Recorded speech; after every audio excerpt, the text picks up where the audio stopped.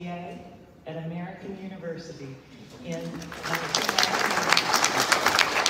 very much appreciate the hat. Thank you very much. We like flying the flag here at American University.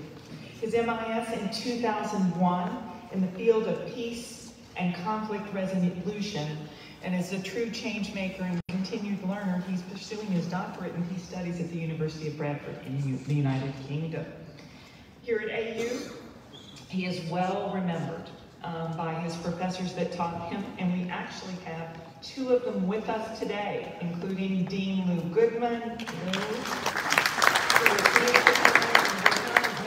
Foreman, who also um, taught the president. And so we're thrilled, uh, and he is well remembered here.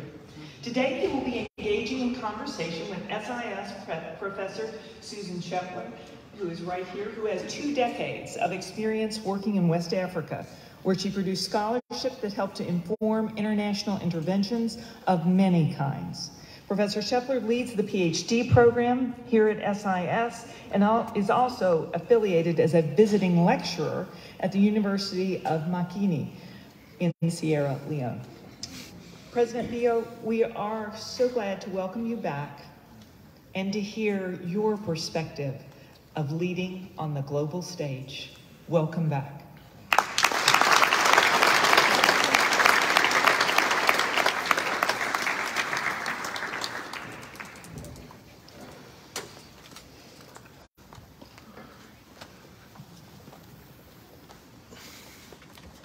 The Board of Trustees, President Sylvia Burwell, Provost, staff and students of the Great American University. Sorry. Distinguished gentlemen, good afternoon. It is unfair to be here today because I'm so excited that I can hardly make sense of what I'm going to say. 20 years ago, I was here as a student, a mature student, and today I'm here as the President of the Republic of Sierra Leone.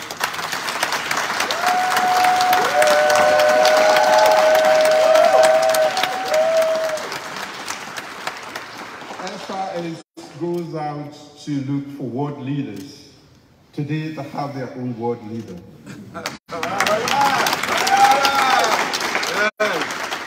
So I'll start by thanking you, and uh, Madam President, and members of the board and faculty of the School of International Service for putting together this great lecture. I would also like to thank each and every one of you who has come today to be part of this engagement. Your presence here is testament to your commitment to international affairs, your dreams, and the incredible potential each of you hold. It is a riveting opportunity to address such a diverse and dynamic group of people from different backgrounds, fields, and persuasions. Standing before you in these hallowed walls, where thought leaders of past, present, and future converge, I am acutely aware of the transformative journey of learning that unfolds within these walls. I am a testament to that. This institution symbolizes the relentless pursuit of knowledge, the endeavor to refine perspectives, and the audacity to challenge and enrich worldviews we hold. When we step into an institution like this, we pledge to view the world through refreshed and curious eyes. To welcome opposing views, not as threats, but as gateways to understanding. Indeed, I'm sure that everyone here, but especially from the School of International Service, will agree that there is no greater honor than dedicating oneself to the service of humanity.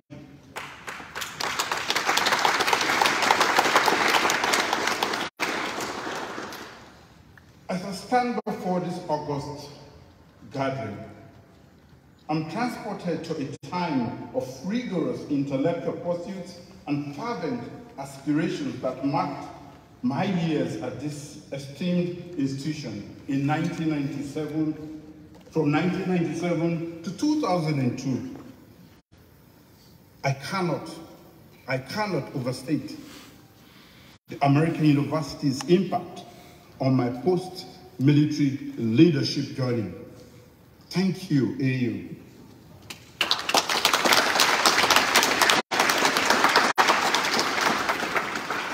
Reconnecting with fellow alums and re revisiting the rich academic tenets and principles that served as the bedrock of my education, I'm reminded of the priceless value of an education that, is, that seamlessly blends knowledge with pragmatism. I learned here the intrinsic worth of being prepared to serve the global community, not just as a leader, but as a harbinger of peace, a bridge builder fostering understanding amidst the myriad complexities of our contemporary world reflecting upon my recent journey through the winding trails, trails of Sierra Leone's election landscape, the profundity of human capital is clear to me. Amidst the liveliness of towns, the tranquility of villages, and the resilient spirit echoing in every corner of my nation it is easy to see that the most important tool for sculpturing a prosperous and secure future, the authentic heartbeat of innovation and the driving force behind every nation's progress is human capital.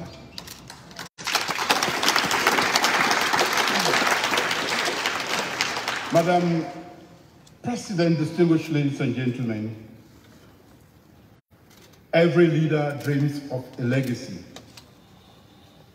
In my time as president of Salone, I have envisioned a legacy built on the foundation of human capital development. Such a focus is not merely a reflection of my personal experiences, though they are profound.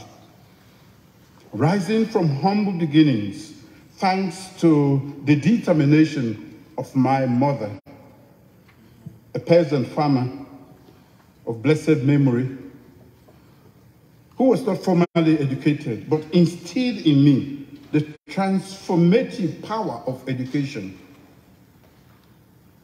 This morning, I went to her graveside because I knew I was coming to AU just to say thank you, mommy, you did not go to school, but you made me go to school, and I am the leader that you made, but you never enjoyed the fruit of your hard work. I am a testimony, and I can say that I've seen how the power of education unchains minds and unleashes potential. Madam President, distinguished ladies and gentlemen, Suffice it to say that I was as persuaded in 1997 when I entered this university as I am today that human capital development is the most important arsenal for building a prosperous and secure future and finding relevance in the 21st century. This has been the paradigm shift of our national development agenda and is already manifesting transformative dividends. My lecture today, ladies and gentlemen, is anchored on the strength of an empowered mind built on human capital development, the responsibilities that come with it, and the extraordinary possibilities that lie ahead. We live in an era of rapid changes, innovations, and interconnectedness. Our inherited world vastly differs from one our parents and grandparents knew and left for us. Technological advancements have reshaped how we communicate, work, and live. But with these changes come both challenges and opportunities. My government understands the dynamics of today's prevailing world and has chosen to embrace its opportunities. For this reason, I made human capital plank of my government in my first five years as president. Sierra Leone is a nation with a tumultuous past. But we have moved beyond our history and made remarkable strides towards peace and stability, thanks to our commitment to human capital development. Human capital development encompasses various initiatives to enhance individuals' skills, knowledge, and, and well-being, promoting socio-economic progress, and ensuring long-lasting peace and security. My government's priority focus on human capital development is hinged on education, gender equality, youth empowerment, which I will briefly highlight here. In our collective pursuit of knowledge and development, we have also confront, we must also confront and navigate the unpredictabilities of leadership and life. Who could have foreseen when I, when my government first came into power in 2018, that a global pandemic would greatly affect supply chains economic stability, and food supply, or that a war in Europe could immensely cause turbulence beyond the borders. Despite this, we set out to beat the odds stacked against us by remaining undeterred in building a resilient economy through the New Direction National development agenda. From the beginning, we emphasized the urgency of implementing wide sweeping changes to put the economy on a new positive trajectory, implementing various essential policy interventions. We have made numerous bold and new investments and rolled out strategic national development programs, mostly connecting these priorities with human capital development agenda. Education. I agree with Bill Gates when he says, and I quote, your leading indicator of where you are going to be in 20 years from now is how, is how well you are doing in your education system. End of quote. Elevating the stature of our nation's human capital through education has been of utmost importance. Our free quality education program emerged as the flagship initiative during my administration's inaugural five years tenure. We have consistently directed substantial investments towards our dynamic youth, recognizing that the true value of our nation is found in harnessing our human potential. Our commitment to education has remained unwavering despite the economic challenges presented since 2020. This dedication is evident as our education budget increased from below 15% in 2018 to 22% in subsequent years, supporting primary, secondary, higher technical, and vocational education sectors. Our free quality education program has created great access, quality, and equity for about 2 million children by removing financial barriers to school enrollment and improving teaching and learning outcomes. Our pioneering approach to radical inclusion in education, leaving no one behind, be it expectant girls, adult learners, children from our most vulnerable communities, or those with disabilities, has garnered commendations from the international community. Sierra Leone's transformative education policy has been celebrated globally, affirming our role as stewards advocates of education advancement. This global recognition culminated in my unanimous appointment as co-chair of UNESCO High-Level Steering Committee dedicated to realizing UN Sustainable Goal 4, a commitment to ensuring inclusive, equitable, quality education and fostering lifelong learning for all. As an ardent supporter of universal education access, I was privileged to co-chair the Global Transforming Education Summit alongside the United Nations Security General Antonio Guterres in 2022.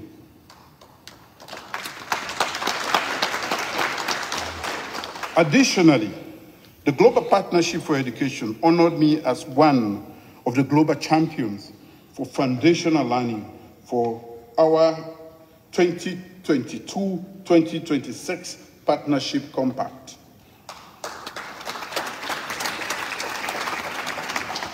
In a relatively brief period, my government mustered substantial backing from our partners, prudently augmenting our domestic educational resources.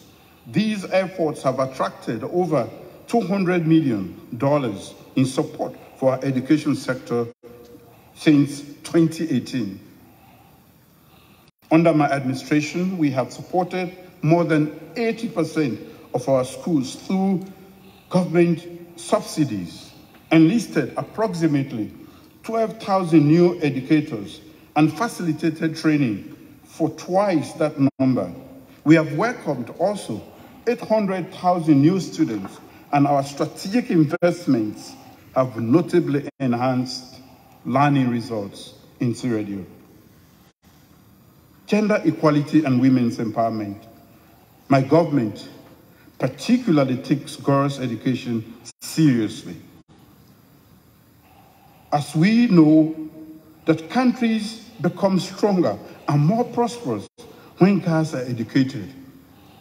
So investing in girls' education is a smart long-term investment for our nation.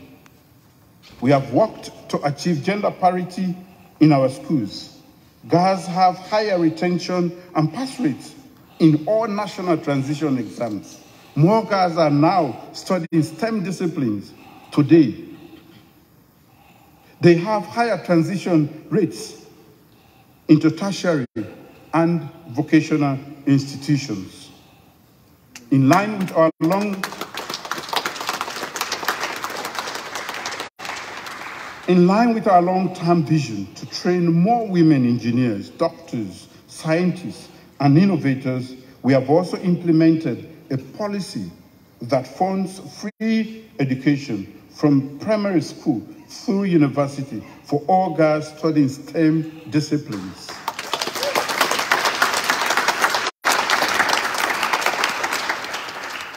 As Chimamanda Ngozi Adichie says, culture does not make people.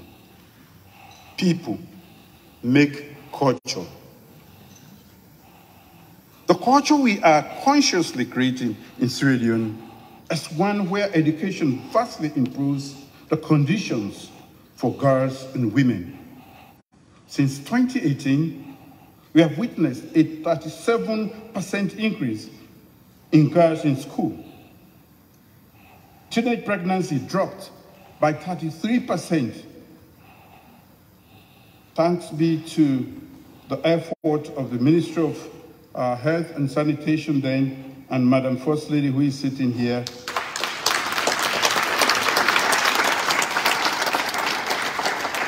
Early marriage figures have also dropped dramatically. Sierra Leone now has the highest rate of girls completing primary education in the entire West African sub-region.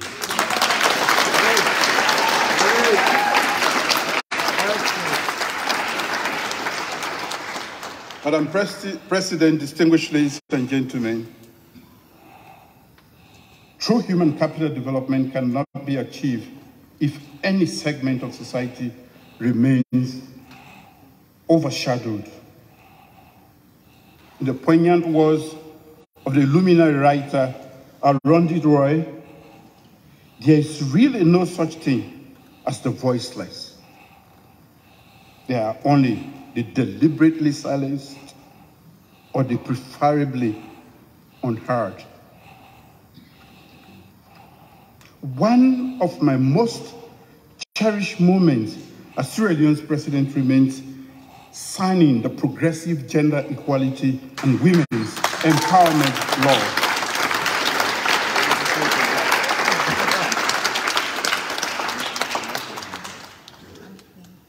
The Gender Equality and Women's Empowerment Law, or Bill into Law, ensuring women receive equal pay for equal work and amplifying their voices in all societal domains, from the workplace to the political arena.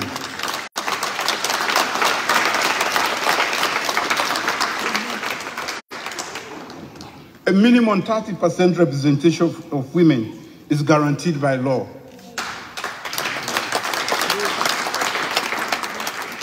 In our unwavering commitment to dismantle the barriers of gender inequality, I declared a state of emergency on the heinous crime of rape and sexual and gender-based violence in Sierra Leone.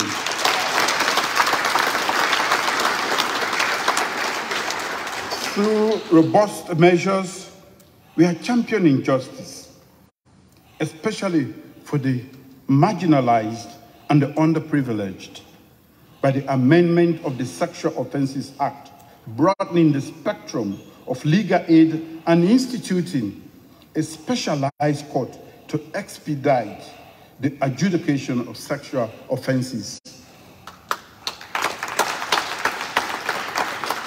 In September 2021 at the United Nations, Sierra Leone with the Federal Republic of Nigeria su successfully moved a United Nations resolution titled International Cooperation for Access to Justice, Remedies and Assistance for the Survivors of Sexual Violence. A whole, a historic resolution for the survivors of sexual violence. It condemned in all forms of sexual it condemned all forms of sexual and gender-based violence and outlined a series of measures for member states to take effective action in line with international law. Youth and empowerment. Madam President, distinguished ladies and gentlemen, empowering our youth means giving them a voice in the decision-making process of our nation. This is why my government has marched towards with action by constituting one of the youngest cabinets in the history of our country.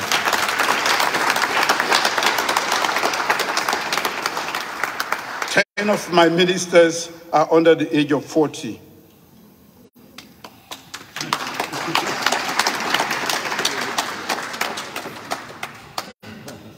Over the last five years, beyond human capital imperatives, my government has invested in young people by creating opportunities for training, entrepreneurship, and job creation. The Youth Empowerment Scheme for my second term mandate, promise, mandate promises that young, the young generation that have the energy, passion, and ambition will find fertile ground in Sierra Leone. We also intend to leverage the cutting edge, the, the cutting edge technology and infrastructure program to pave sustainable pathways for economic growth. My government has continued to rely on our young people to move from passive, being passive observers of the country's problem to being, to partake in the actions that can move it forward. Our human capital development agenda equips young people with the knowledge and skills to be informed and to be critical thinkers, and they must use that knowledge for the greater good.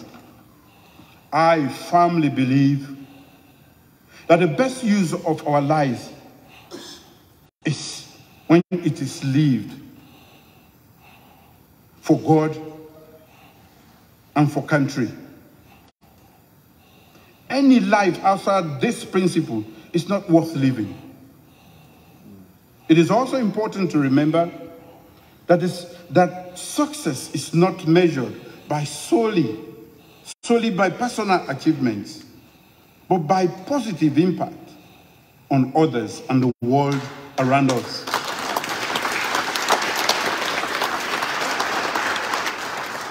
I have just started my second term.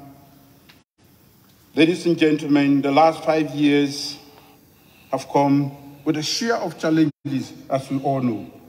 But in the true nature of Salone spirit, we will never shirk in the face of adversity. Challenges an inevitable part of life and often the catalyst for the most significant change.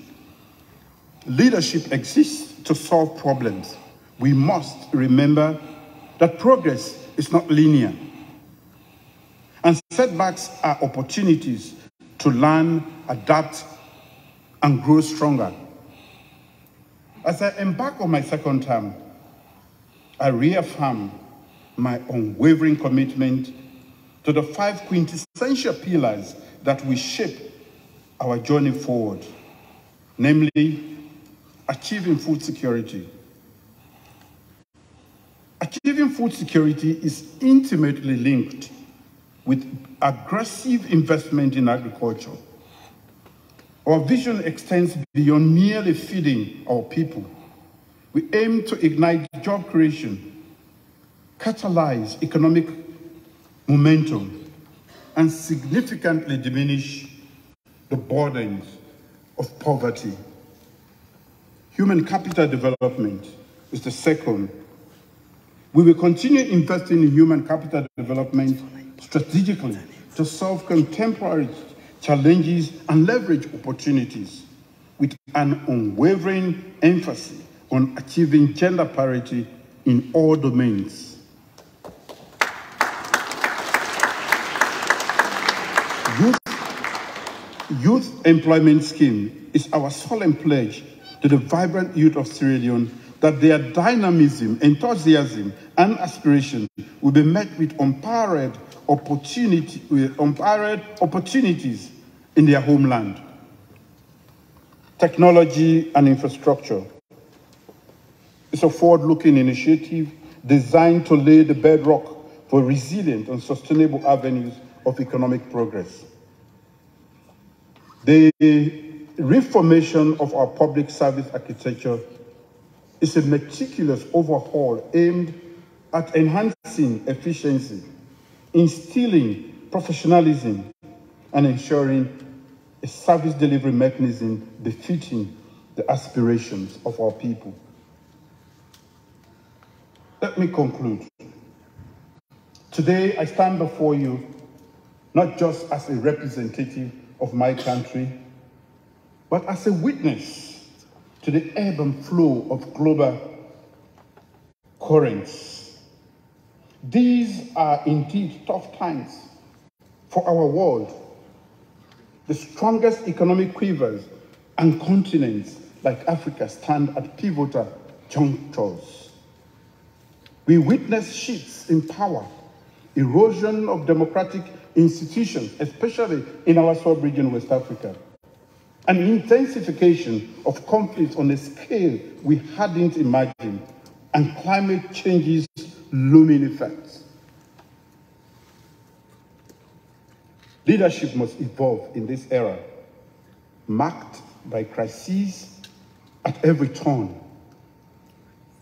We can no longer stand idly by as young workforce leaves our shores searching for greener pastures.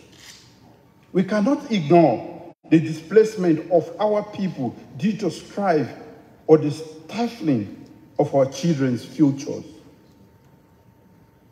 It is not enough to be defenders of the status quo. We must become the disruptors. Disruptors who strive to lift communities out of the depth of poverty, enabling our youth to rise to global challenges and ensure that every individual has the freedom to dream, choose, and lead a fulfilling life. Every single one of us has a part to play. Leadership, I must say, it's not a title, it is an action. I recall my times here in the United States and in this institution, a period of growth and learning. But the serene call of home was always present in my ears. I beckoned that guy, a beacon that guided my intention and actions. I had to return. I had to leave the United States to return home. Now, as I stand here, I feel like I have come full circle, nostalgic. Yes, that's why I have my AU cap on today.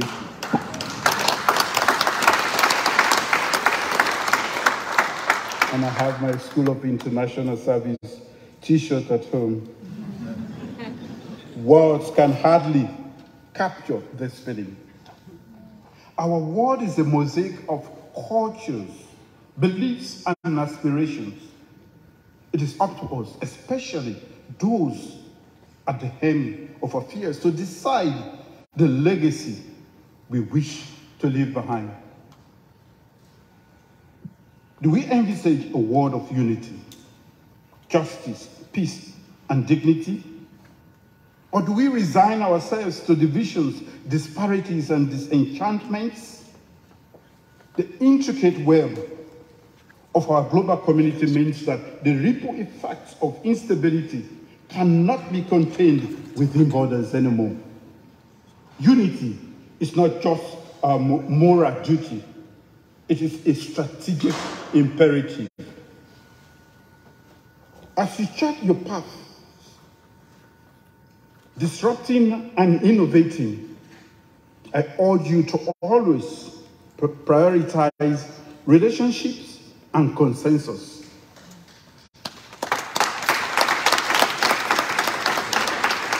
A world where different opinions coexist in vibrant, where the, co the, the coexistence of different opinions is vibrant and robust.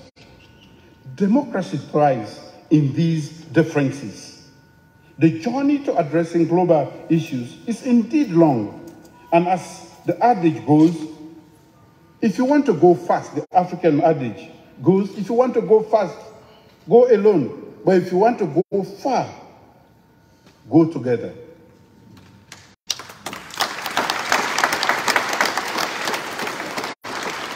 As we champion multilateralism on the global stage, it is paramount that we fiercely uphold political pluralism, freedom, and of freedom of, of expression, and fundamental human rights within our borders. As stewards of the future, let us all pledge to shine our collective line light into every shadow. Let us, let our voices rise in harmony, heralding the dawn of a brighter, limitless tomorrow. In closing, I want to leave you with a quote from President John F. Kennedy, who once said, and I quote, the future does not belong to those who are content with today. apathetic towards common problems and their fellow men alike, timid and fearful in the face of new ideas and bold projects. End of quote. I want to add, permit me, ladies and gentlemen, that the future belongs to those who create it.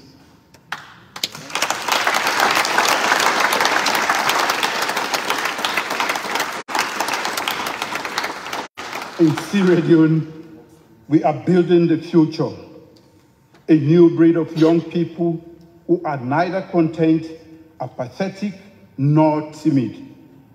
We are building change makers, our hope for a better tomorrow. I therefore invite all of you to join us and support us in our journey to building a prosperous middle income country by 2035.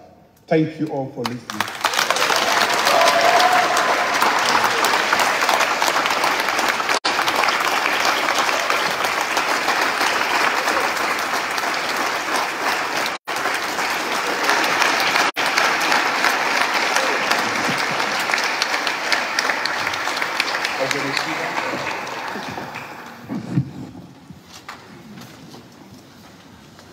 Thank you very much for those inspiring words. Um, Your Excellency. um, my name is Susan Shepler, and I'm a professor here at the School of International Service. But I want to make mi Salone people that know say myself na Salone person.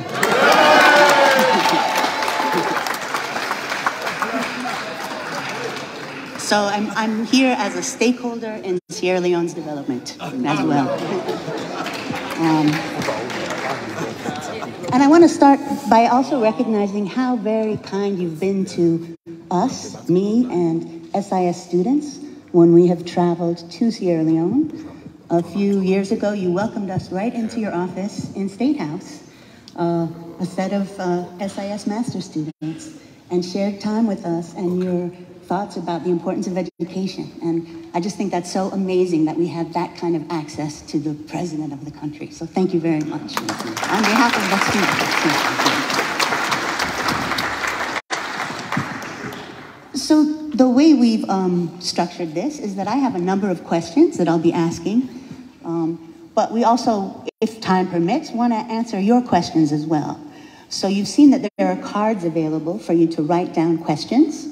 If you have questions, um, please write them down and pass them along. We do have a team here that'll be looking through them to make sure we're not asking questions that I've already asked, um, and that we, because we have very little time, that we have time for as many questions as possible. Um, so if you don't mind, I'll go with the questions that I've already um, submitted. You have such an interesting personal story in terms of changes in your trajectory. Um, and you've already spoken a little bit about how AU was such a big part of your personal trajectory. I wonder if you can tell us about other institutions um, that you've been a part of. I know you went to Bo School, for example, um, the military, um, the Catholic Church. Um, how have other institutions really impacted you as a person and as a leader? Normally, we don't recognize the fact that we are captives of our culture. I've had to go through different institutions, starting with my home. My mom was uh, a widow at a very early age, a peasant farmer who was not fortunate to have gone to school at all, not and um, being able to get to this point in life means she laid the primary foundation upon which this great man is built. So, my schooling at Bo School, which was a school dedicated for leadership in Sierra by the British colonial masters, and then entering the, the military as an officer cadet means you are being trained to become a leader. And um, when I left the Bo School, I went into the military. Of course, I served at the war front. I was in Liberia at the height of the war, and I came back to Sierra Leone. I led at the war front and also led the war as part of the military government that came after. I was patriotic enough to let go power for the sake of Leone. And the very I hastily prepared the democratic election. I also initiated the peace process and got Sankoh out of the bush. And we had a first ceasefire. And it was during that time that I left the country. After that, I left the country. When I left, I came to the Great America and to the American University and to the School of International Service. Um, I was a different kind of student because for most of the students, uh, we, we, we had, they had to do theory and we are expected to go out into the world and get the practicals.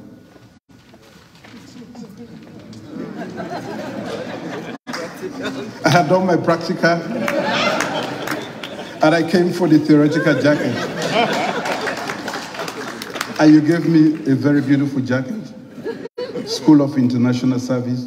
You trained me to be a global nomad, and I've been one ever since I've left. I've held the flag high, and I always remind people that of all the institutions, all of them have played critical roles, but you, this university, played a pivotal role because at the American University, you have access to all sorts of lecturers from Pentagon to State Department to everybody. That's the beauty here. And students too. So for me, that was a great opportunity.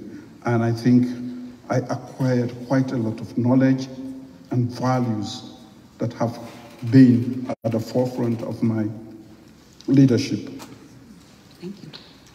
Um, it's pretty exciting. I don't know if people know, but Sierra Leone is going to have a seat on the UN Security Council this year.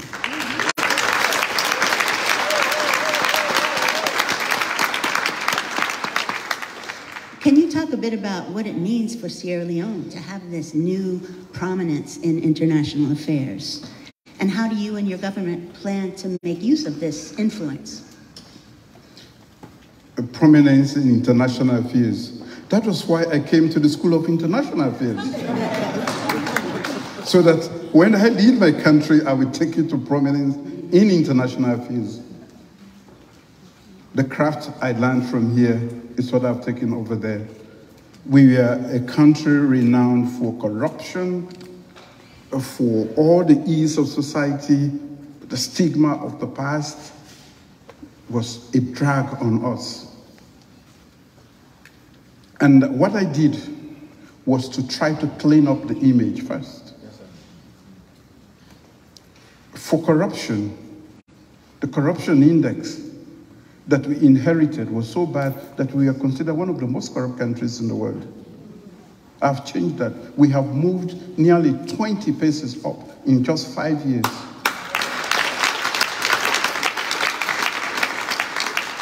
The Transparency International valuation, and also the MCC, which is an American institution, we have passed the score of, uh, of uh, corruption index for the past five years. The previous government before me for 11 years failed woefully. And since I took over, we have passed the index for five complete years, going as far as 83%, the highest they got in the highest they ever got in, in 11 years was 49. I have passed consistently, and we have gone as far as 83%. So, what I did was to clean the image so that we can again regain our space among the committee of nations. We'll be respected we had to do everything to It's a very crowded place, as you know, the international, uh, and there, there are a lot of other countries that want to be at the, at the UN Security Council, be it in the permanent or the non-permanent category. So we had to do quite a lot to be considered worthy of that position. That is what we did. And for me, it is important because we have um, been able to secure peace with the support of the international community. It is now time for us to take peace to other parts of the world, to share our experience as a country that was ravaged by war and the, how we were able, through a peaceful settlement, to get peace. I think it's an opportunity. Of course, I have to ask you about the most recent election. Um, various observers, including the Carter Center, have raised concerns about the fairness of the election, especially focused on the work of the Electoral Commission, ECSL. Um, the U.S. State Department has issued visa restrictions on Sierra Leoneans involved in what they call election interference. And we'd all like to hear your reactions to those allegations and to the actions taken in response? Uh, elections are always contentious issues wherever they happen in the world, including in the United States.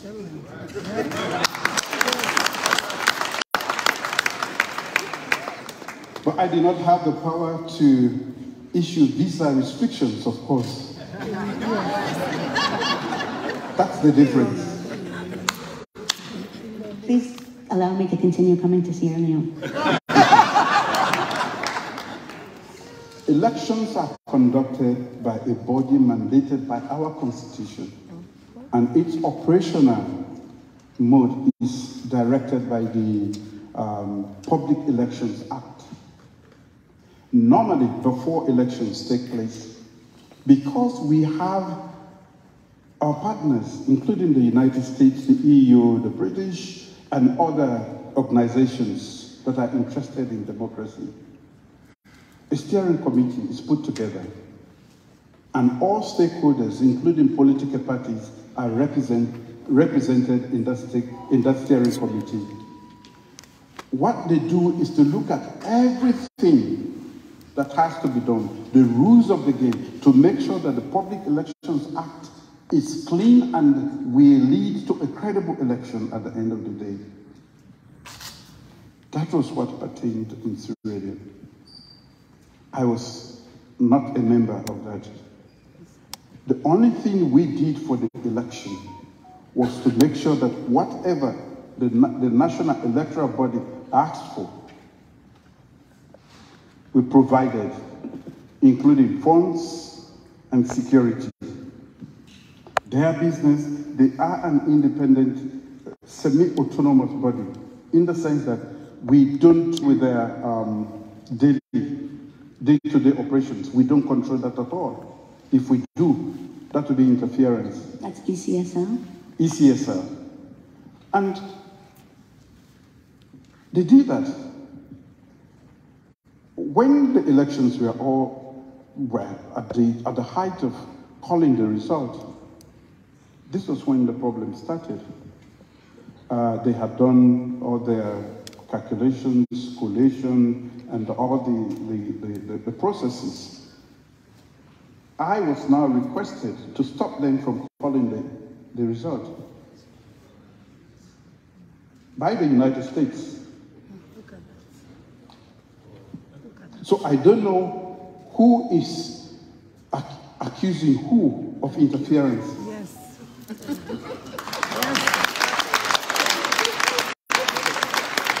And I declined. I declined and I said, I, we, I have never called this institution. I am not going to call them now. If there are any issues, let's deal with them. Let's leave them to finish. This is very critical. Let's also take into consideration the, the context in West Africa, a very volatile region. We are threatened by jihadists in the whole of the Sahel. From the Atlantic Ocean to the Red Sea, we have military governments a few of, us are surviving as democratically elected governments.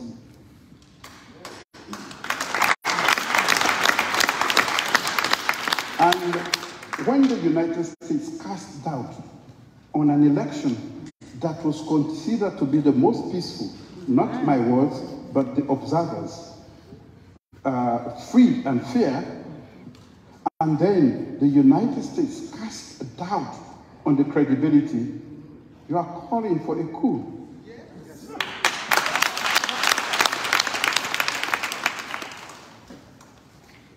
This is what we don't recognize.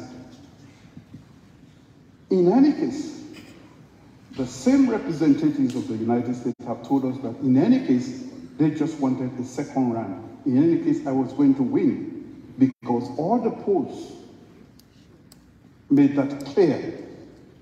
And I can say here that based on what I have done in the last five years, under the circumstances, we can go to the polls today and under in, in a free, fair election, I will not get 56 percent.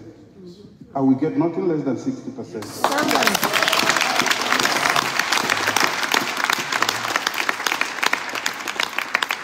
I mean, uh, it is unfortunate what the U U.S. has done insofar we have a great bilateral relationship with the United States. I told the American ambassador in my office, I said, I am a better ambassador for America in Sierra Leone than you are. I was trained in, in the United States, and I know the values that should be projected out there. You are a stranger, you've only been here for a few days. I will allow you to go, but know that I'm a better ambassador here for United States than you. So it's unfortunate what is happening. Uh, casting doubt and creating that uh, um, um, um, uh, air of instability. But we still seek a great relationship. We are looking for a reconsideration. Well, this is my next question, actually. I saw that you met with the new U.S. ambassador, who himself is an American University alum. Oh. I don't know if you knew that. Yes, I, I heard about that. Uh, Bryan David Hunt is his name. Um, and you said on Twitter, my government remains committed to working with the United States towards strengthening our strategic partnership and mutually beneficial cooperation. So given the U.S. sanctions related to the election, how do you see the future of U.S.-Sierra Leone cooperation? Are you looking to work with other partners internationally? Um, of course, uh, we have a great relationship. I think this is just a little peck. And it will clear off when the objective reality is, is understood by the United States. Sometimes the wrong information filters out here, and those actions are informed by the wrong information. I still believe that I will use my time in the United States and also try to contact different people to understand. We are only 60 years into democracy. We are not 250 years. We should be allowed to make mistakes. If we do, correct the mistake and we will continue. We should not be, we should not be treated as if we are the experts in democracy. Elections are always troublesome, and we should be careful how we deal with them. So um, we, we are seeking a, a very uh, amicable relationship. We will continue to explain. We know somebody somewhere is going to hear the truth and know that um, sometimes dialogue is better than these coercive, punitive actions.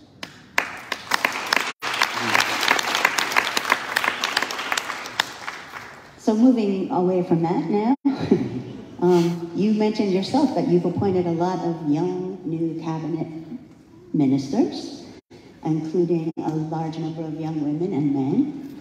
I want to ask you about, in particular, about your new chief minister, who's sitting right here, uh, David Sengeh.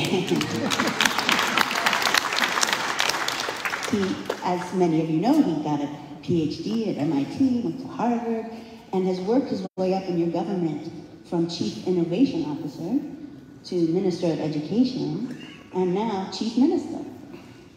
Um, many of us attended his recent book launch events in DC uh, at Politics and Prose, where he talked about how he was able to convince you of his concept of radical inclusion, and that you now are also a proponent of radical inclusion. Um, I guess my question is, can you tell us what you see in this man, and why you have promoted him so rapidly? Not to put you on the spot. well, I, I, think uh, in, uh, in uh, my, uh, when I was talking, I did talk about disruptors. I think I'm looking for disruptors. The, um, the old ways of doing things have not worked for us. We must accelerate our, our, our pace, and we need people who can disrupt the status quo to get to the top.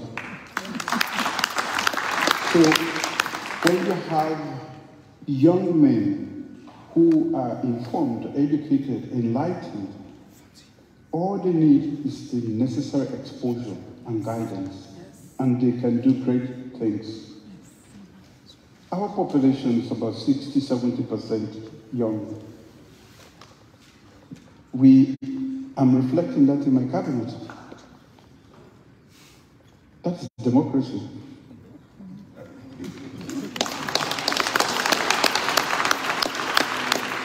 The women are 51%.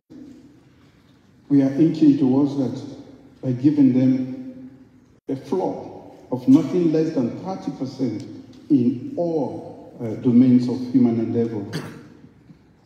We are actually talking the talk and walking the walk as far as democracy is concerned. If we are going to cater for the young people, they should be here, they should be where we make the decisions. Yes, they have to be there. They bring new perspectives. As you know, uh, so are women from another planet. With 51% of them, if you don't bring them into your mix and you make laws and you make uh, decisions, you are leaving a huge chunk of valuable information out and perspective. This is why we are building democracy from the bottom up. So he, he may be one, but there are so many of them. The other young man sitting there, the women all over there, the other women at the back, woman at the back there is a member of parliament, you know. Uh, this young man sitting here is the foreign minister. I I also have. Oh, and we have another AU alone in your cabinet. Yes. Right? Uh, he, he was hiding from me until I told him, I said, I'm going to. He said he went to the School of Public Affairs. I said, I never knew this.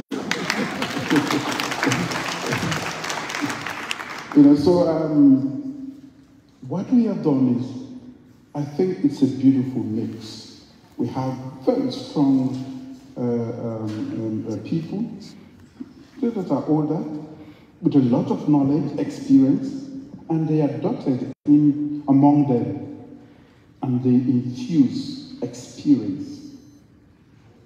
And that is what is helping them. And I am also, remember I told you I led the peace process that brought peace to Sierra Leone. I initiated that one. I brought democracy to Sierra Leone when I was in my 20s, late 20s, after nearly um, 30 years of one party rule.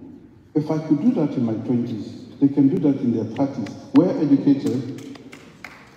I'm more exposed than I was at the time I made those uh, uh, strategic decisions for our country. So I believe and trust in that.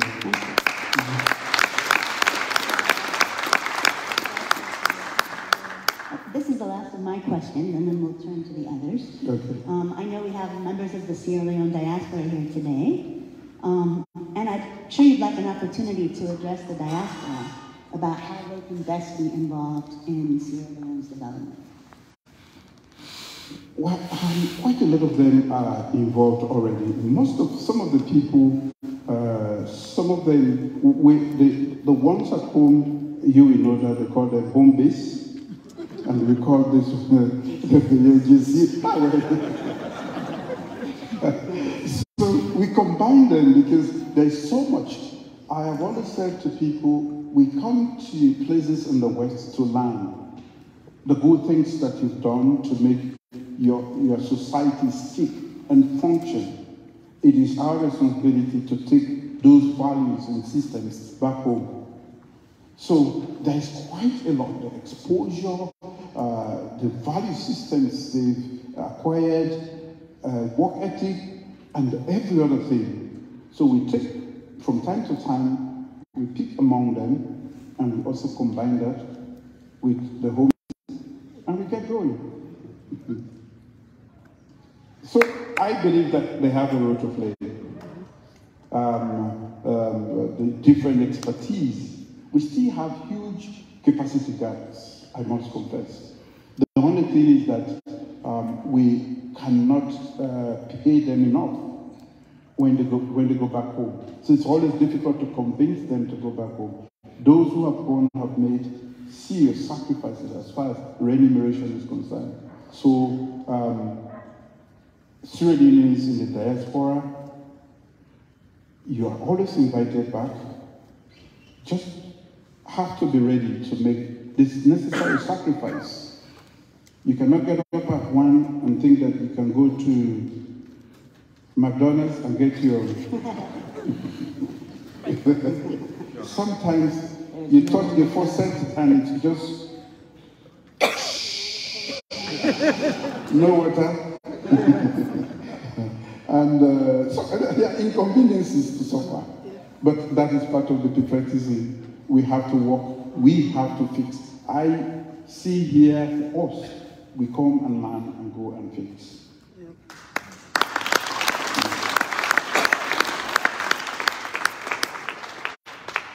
All right, I have some questions on the cards from the audience now. Um, the first one is one I'm very interested in, so I'm starting with it. Uh, is the government committed to educating youth about the Civil War? And if so, what steps are being taken? The Civil War is, a, war is an important part of our history. In fact, we should keep um, reminding them what led to the war and how that war ravaged our country and how it set us back as far as development is concerned. And to strive to never again go back to that as the Americans did.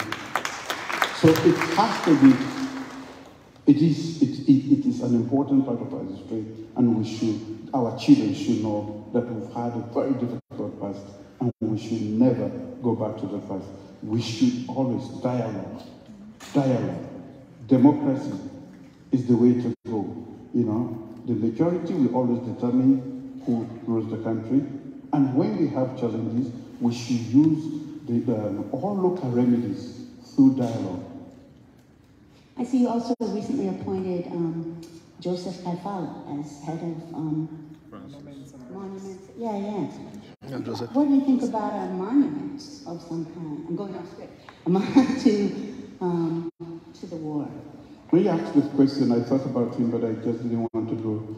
De- definitely, um, uh, definitely, we have to make every effort, not only to document what happened, but also have um, uh, a place that we remind our people, and we are we are working towards that. Um, if there's any help that you have identified, it's welcome. Thank you. Okay, another question from the audience. What do you think was your biggest success when dealing with the COVID 19 pandemic? What strategies helped the most? Uh, our COVID strategy was informed by our um, Ebola experience. We had a rough time as a nation dealing with um, um, um, um Ebola. I was not at the helm at the time, I was in opposition, but I was fully involved. I went around the country during Ebola to look at the structures. We had international support, but we still lost over 3,000 people. Once, and Ebola was even more infectious and deadly than uh, uh, COVID.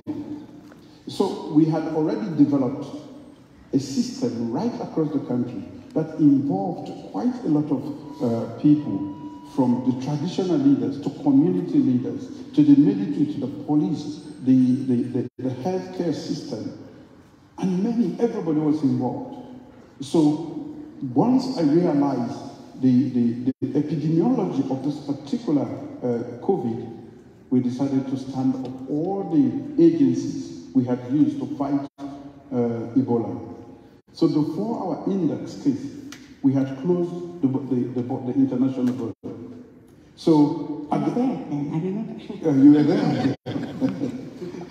so um, we, I think uh, we fell back from our experience with COVID, uh, uh, Ebola, and um, we already had vestiges, or already a lot of people in the system knew how to deal with this sort of thing. That is another thing. So besides government effort, we needed, we reminded people of the need to, to take the necessary precautionary measures that we were, you know, um, and um, we did not close down, lock down at any one point in time, except for two, I think for two, two or three days, um, we, because I, we custom made our own response to, to, to, to COVID. When uh, other nations were locking down for weeks and two weeks and a month, we never once closed for even more than three days because we knew what to do. We had had the experience and we, that, that experience informed our every action. We stood up the whole scientific community of, again, the diaspora. In fact, most of them were in the diaspora, uh, who, who knew, uh, including, and I remember, the, the, our president, Minister of, uh, of Health, he was still here, but he was part of our uh, scientific community informing our activities back there and few others around the world and also back home. So the, diaspora has always been an integral part of what we do. And that was one great example um, uh, of how we reacted to COVID. We, uh, in, in, COVID, we lost uh, less than 200 people. In Ebola, we lost over 3,000 people. So um, I think uh, the experience, our bitter experience, was uh, was at the fore in our decision making. The next question starts off, thank you for coming. Thank you for coming. Um, what do you envision for Sierra Leone in 20 years' time? What will be different? What will be the same?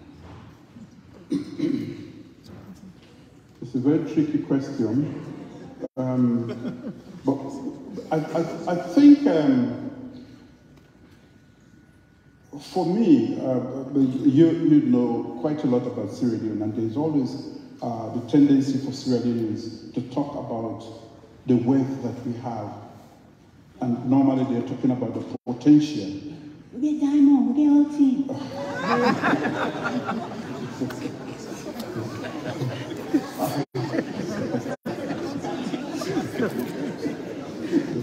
and um, what I have said to them, let's have all of this.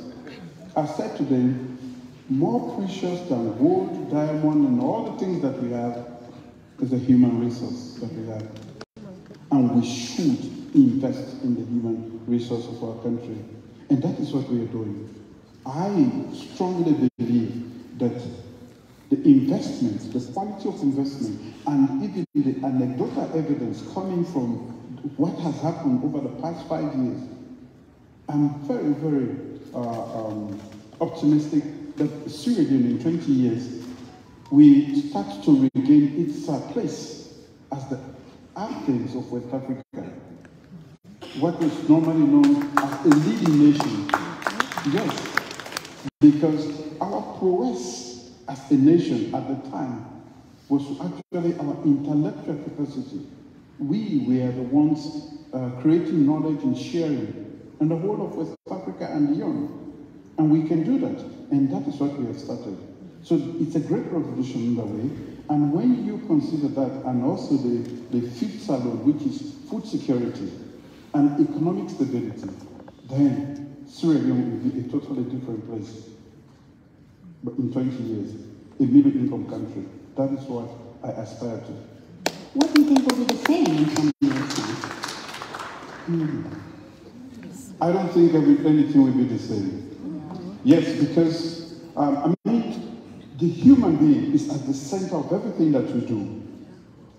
As part of our uh, of our uh, uh, progress, we are actually changing the mindset, which is the most difficult.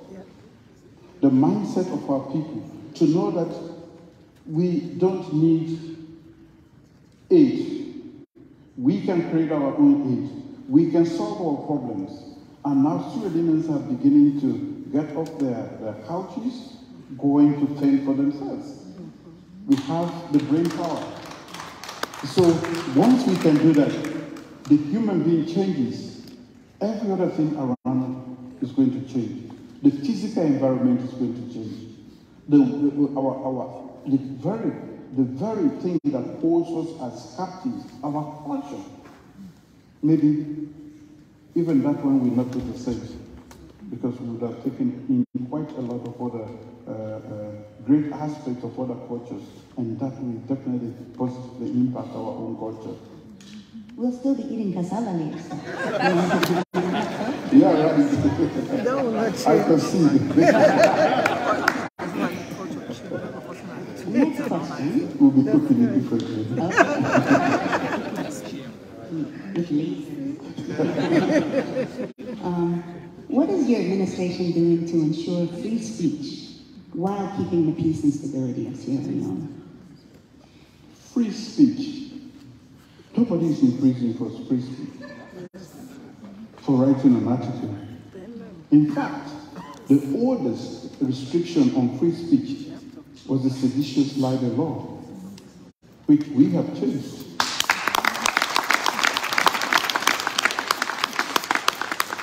So free speech, I, I, no, they, for five years, there's no uh, um, um, uh, pressman in prison.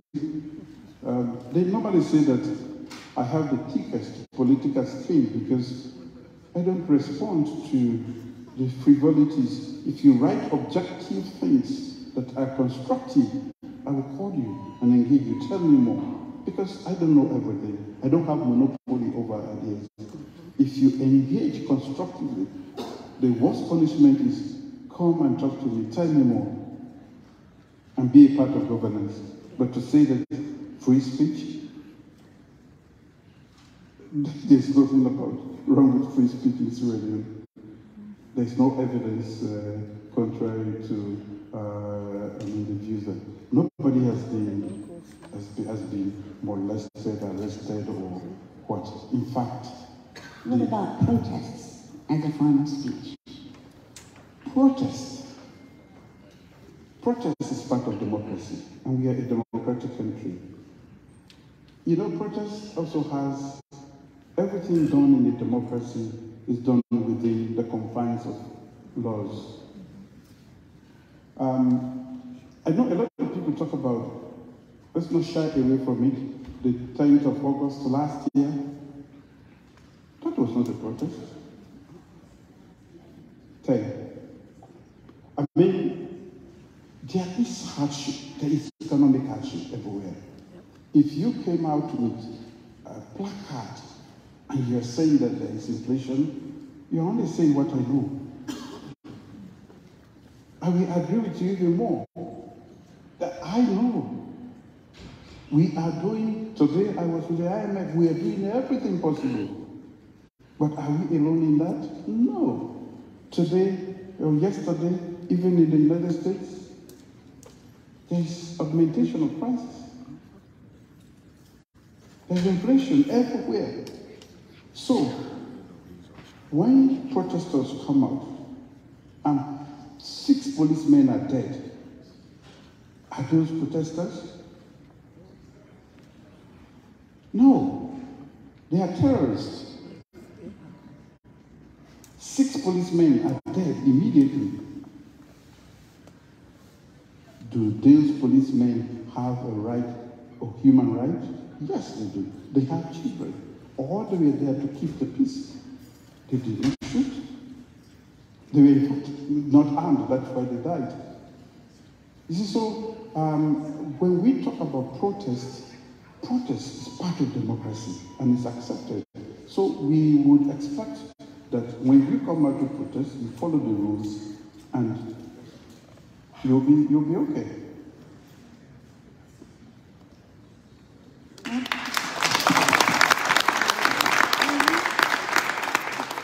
have one last question, and we have about nine minutes left, so we're on time. Very good. Um, you've addressed this somewhat, but this is from Mustafa Y.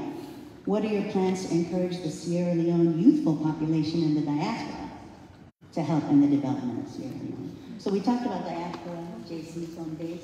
What about the youth, maybe who grew up here in the U.S., maybe have never been home to Sierra Leone? That's reading. I normally extend invitations, and I always tell people that we are going to fix our own country. And um, we encourage them to go back home uh, for holidays. And most of them who go back normally fall in love with their own country. And uh, with the with, with, with, with, uh, the right opportunities, they will lash onto those. I think we have to provide those opportunities for them so that somebody, because um, if a young man or a young woman can find employment back there and be able to pay his or rent and other uh, responsibilities, they are, they are very much likely to stay. Um, what we have not been able to do, especially in terms of the, uh, the amount you know, required for them to stay afloat, especially most times they would have gotten a mortgage or other responsibilities here. You cannot work there and be able to take care of your mortgage here. So that is a great decision to uh, the young people is that home is home, and home can be only fixed by us. We have to go back home at one time or the other. A great experience to be here to learn and to live, but I think it is worthy a cause to go back home and help because there are millions there who need our help.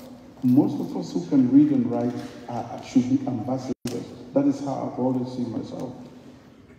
I can go to my village and you look at them, all of them are illiterate. Those people need help. Those people need our support. Otherwise, they will never fulfill their potential in this world. And we who can do that have, should endeavor, make the sacrifice to go back home. We can, I mean, when I finished 20 years ago um, in Virginia, I could have stayed, you know, like many others, but I made the deliberate choice.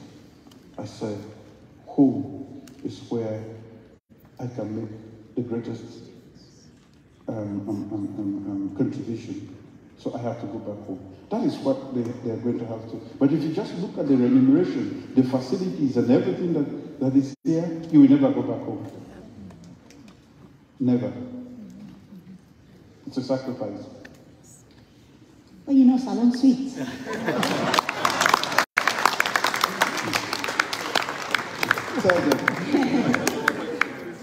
well, thank you very much again for Thank taking you. the time to join us today, and thanks to everyone for being here.